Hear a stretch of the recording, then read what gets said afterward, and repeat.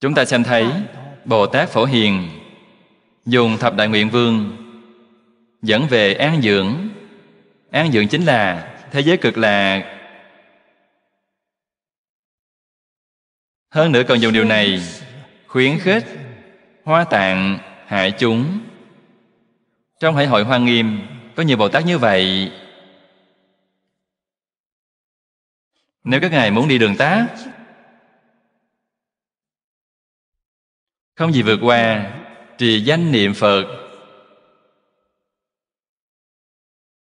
Vạn sanh tịnh độ Chính là tính nguyện Trì danh Được ngõ Đại Sư Đề cập ở trong này.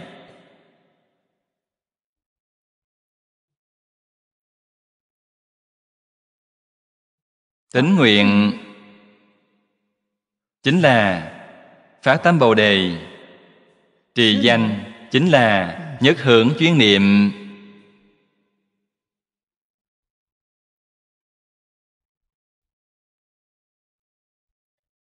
Đây là con đường tác.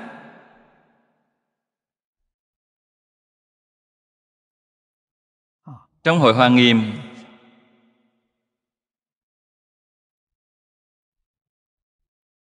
Hoa tạng thế giới là pháp tánh độ. Không hề khác biệt với thế giới cực lạc.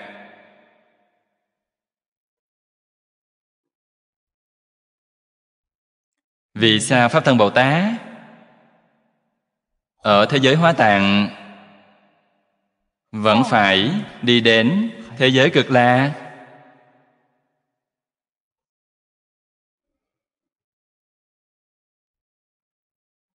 cực lạc với hoa tạng là bình đẳng.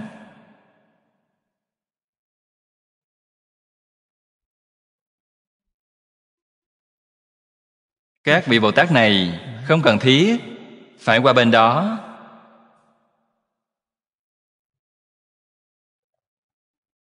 Ý nghĩa biểu pháp của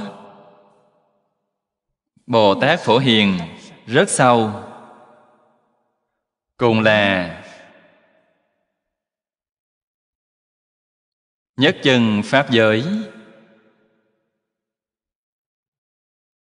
hoa tạng là nhất chân pháp giới của phật thích ca mâu ni.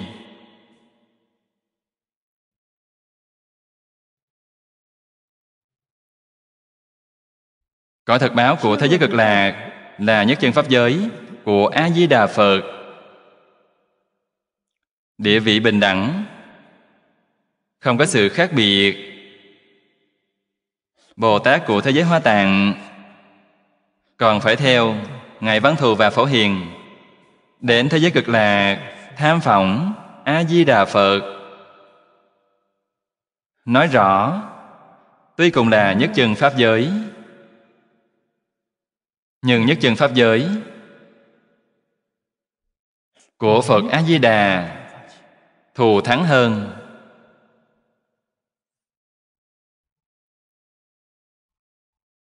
Nếu nó không thù thắng, những vị pháp thân bồ tát này sẽ không đến cực lạc. Như những chỗ này chúng ta học tập kinh giáo, phải đặc biệt chú ý. Bồ tát của thế giới hóa tạng. Còn phải cầu sanh, thế giới cực lạc, chúng ta có thể không đi sao? Lúc nào thì đi, phải mau chóng đi đến nơi đó. Đừng nên chờ đợi thêm nữa.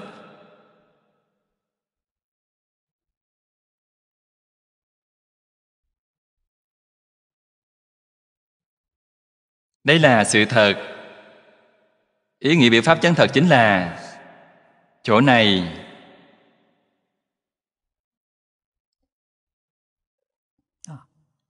Thế giới cực lạc.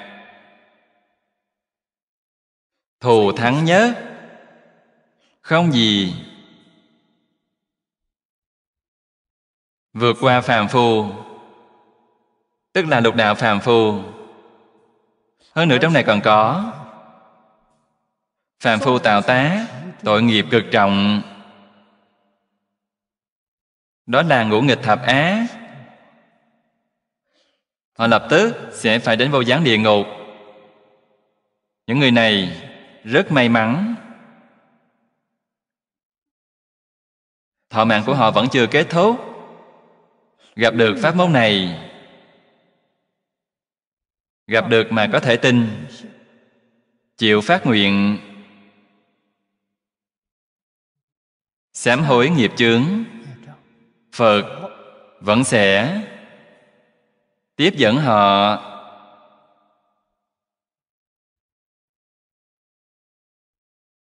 Một chút cũng không ghét bỏ.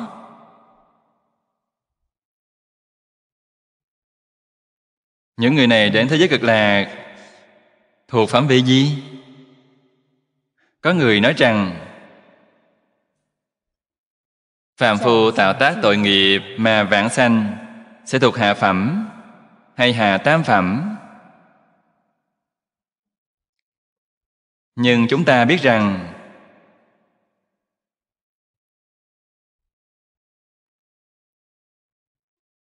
năng lượng sám hối không thể nghĩ bàn.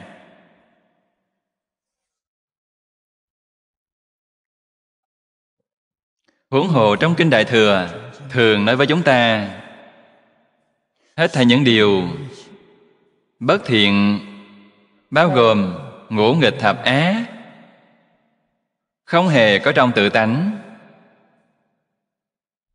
Vậy nó ở đâu? Ở trong á là già nếu đã chuyển thức thành trí, thì tội nghiệp này cũng tan thành, mây khói. Đến vết tích cũng tìm không thấy. Giống như huệ năng đại sư, nhìn thấy tự tánh là thanh tịnh, không sanh không diệt, vốn tự đầy đủ, vốn không dao động, năng sanh vạn phá. Chúng ta phải từ những chỗ này mà thể hội mỗi câu đều là lời thật. Như vậy chúng ta đối với những điều được nói ở chỗ này, liền không còn hoài nghi, phàm phu đạt ngay lên địa vị bổ xứ.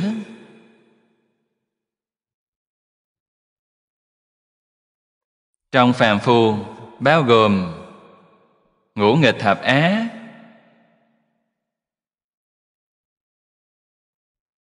Bộ xứ là đẳng giác Bồ Tát hay hậu bổ Phật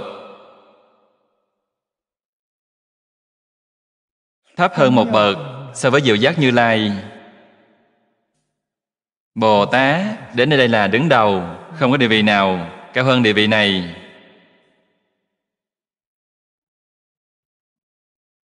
Giống như quan âm và Di Lạc Quan âm là Bồ Tát Bộ Xứ của thế giới cực lạc.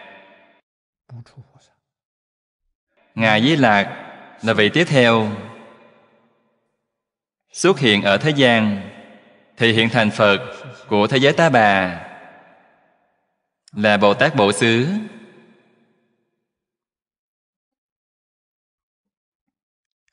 Cái này đều là ví dụ đặc thù cho nên nói kỳ sướng, cực đàm.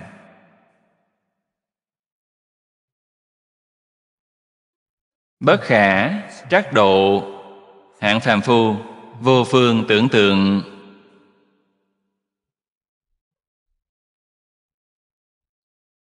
Cũng là bất khả tư nghị chỗ phát khởi của kinh hoa nghiêm nằm ngay trong kinh này.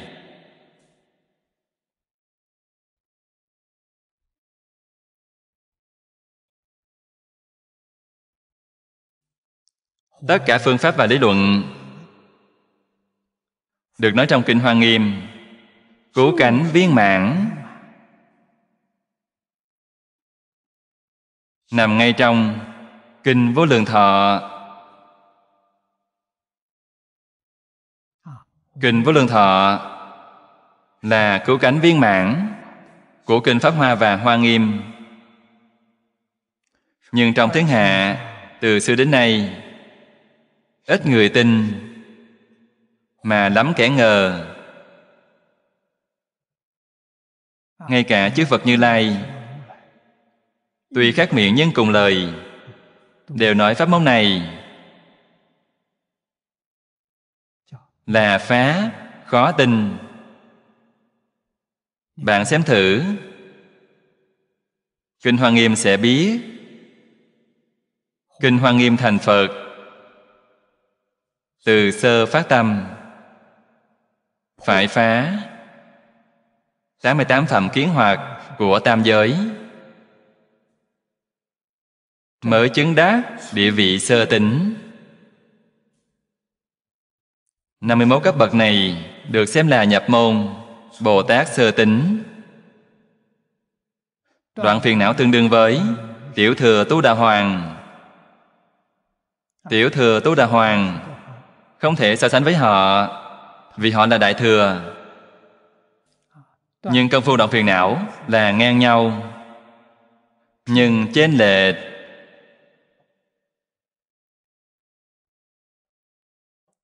về trí huệ và đức năng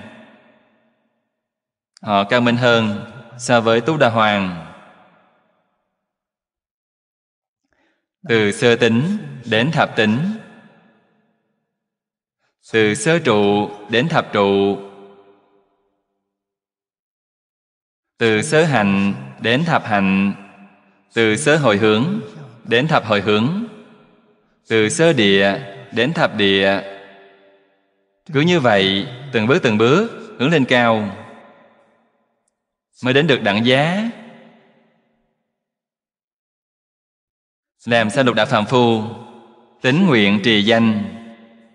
Liền có thể chứng đắc đẳng giá. Ai mà tin được?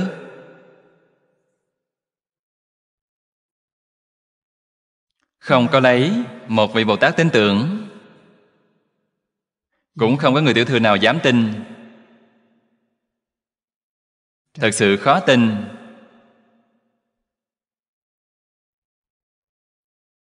Khó tin, có thể tin. Dựa vào cái gì?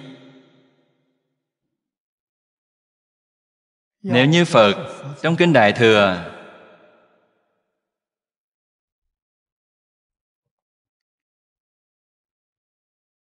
không phơi bày đạo lý này, chúng ta vĩnh viễn sẽ hoài nghi. Cho nên niềm tin, đó gọi là ngưỡng tin. Không thể không tin, vì đây là lời phật nói, phật chẳng hề vọng ngữ. Chúng ta chỉ dựa vào điều này để tin tưởng nhưng cứu cánh là đạo lý như thế nào, vẫn chưa làm rõ. Trong đại thừa giáo, phật thường nói, phàm là người, vãng sanh đến thế giới cực lạc. Tức là tất cả chúng sanh nghe được danh hiệu a di đà phật nghe được kinh vô lượng thọ. Không hoài nghi. Có thể tin, có thể phát nguyện. Chịu niệm phật. Đầy đủ ba điều kiện này. Những người này, trong đời quá khứ, đã từng cúng dường vô lượng chư phật như lai. Là vô lượng. Chứ không phải ngàn vị hay vạn vị mà là vô lượng. Thế một đời này lại gặp được Tịnh Tông Được. công đức của vô lượng chư Phật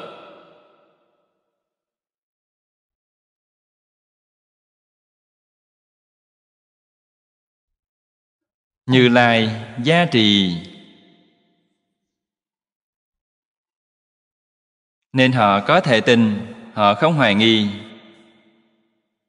Điều này khiến chúng ta nhớ đến Một câu kinh văn Có trong kinh A-di-đà.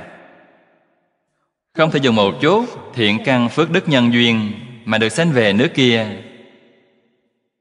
Đây là thiện căn Phàm là người có thể tin. Chúng ta hay nói là thiện căn sao dày, rốt cuộc sao đến mức độ nào, chúng ta không biết được.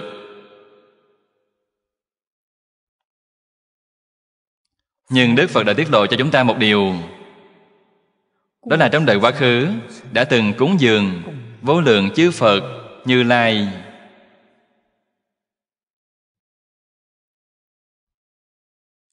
Trong sự cúng dường khẳng định, lấy pháp cúng dường làm chủ.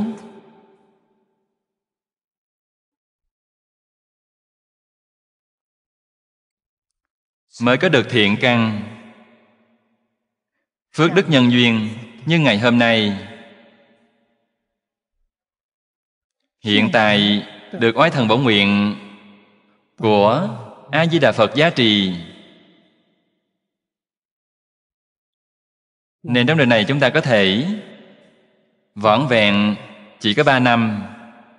Thuận buồm xuôi gió. Niệm phật vạn sanh.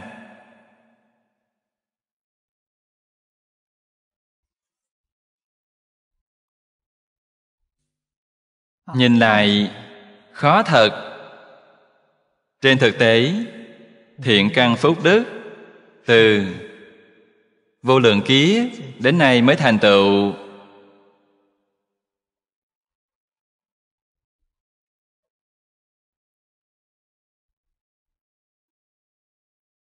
Phúc, thật thà nghe lời,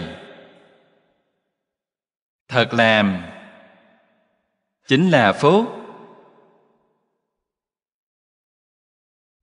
Chân thành thanh tịnh, cung kính cũng là phúc đầy đủ thiện căn phúc đức, lại có duyên gặp được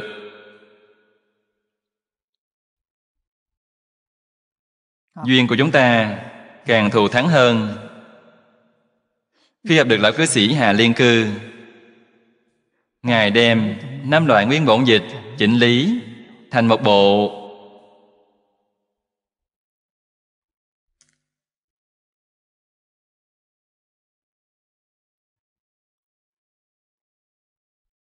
Bộ kinh này là đệ nhất kinh do thế tôn giới thiệu tây phương, cực lạc thế giới bởi vì mỗi một chữ trong này, mỗi câu mỗi chữ đều là phật nói. Chứ không phải ý riêng của lão cư sĩ.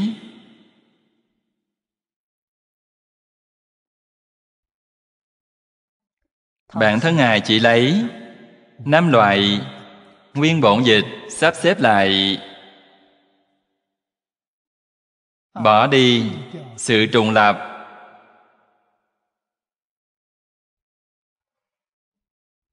câu câu đều là phật thuyết không có lấy một chữ. Không phải trong nguyên bổn dịch.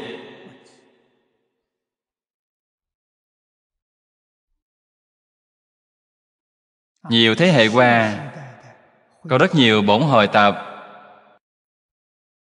Nhưng bổn hồi tập này là viên mãn, bậc nhất chúng ta gặp được là phước báo. Không có phước báo, làm sao có thể gặp được? Còn gặp phải sự phản đối, đó là không có phước báo. Chúng ta vừa nghe vừa thấy được, liền biết rằng gặp được lập tức không hoài nghi, lập tức tiếp nhận, chịu phát nguyện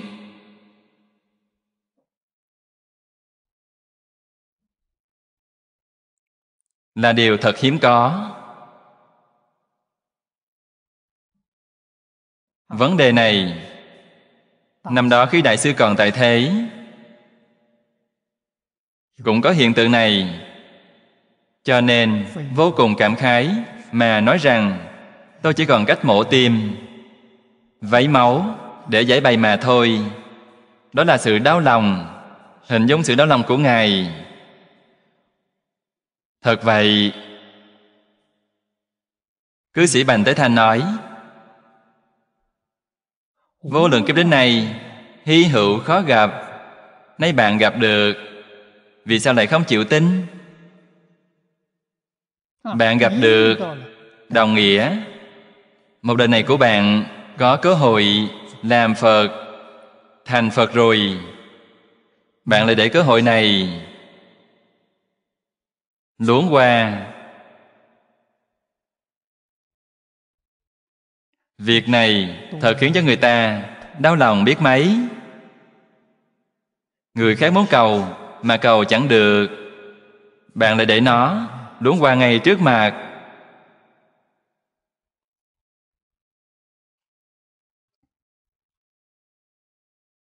Câu này có thể thấy được ngẫu ích đại sư đối với việc bỏ qua cơ hội này, ngài rất đau lòng. Sách yếu giải còn ví, lại bảo rằng, đời tương lai, kinh pháp diệt hết. Riêng lưu lại kinh này kinh này chính là chỉ cho kinh vô lượng thọ. Ngày nay chúng ta có thể nói rằng chính là chỉ cho bổn hội tập của lão cư sĩ hà liên cư.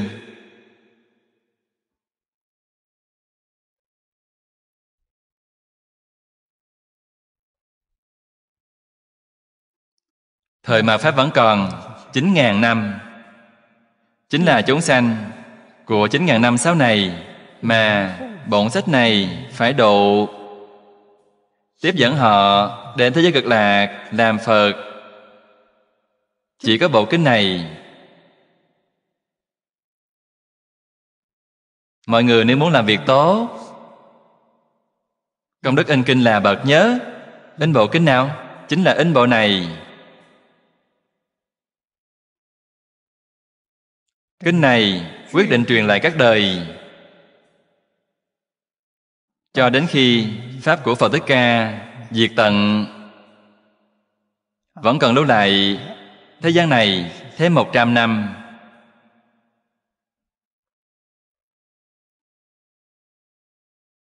A di đà phật từ bi đến tột bậc.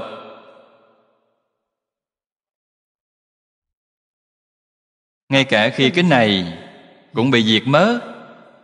Tất cả kinh được thế tôn thuyết ở thế gian đều không còn.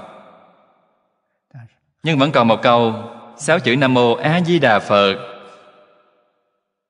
Sáu chữ này trụ thêm. Một trăm năm nữa. Đến lúc đó, nghe được câu danh hiệu này.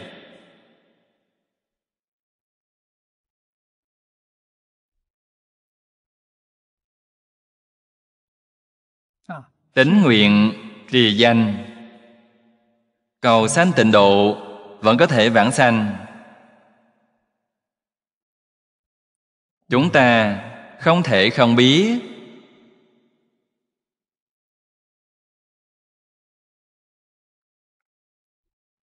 Niệm Phật một niệm phước sanh vô lượng, Lễ Phật một lễ tội diệt hà sa. A-di-đà Phật, Liên đài chờ sẵn Tây Phương. Đời ai tỉnh mộng, xả ly ta bà. Phát tâm niệm Phật Di Đà, Đến khi chúc mạng Di Đà rước đi. A Di Đà Phật.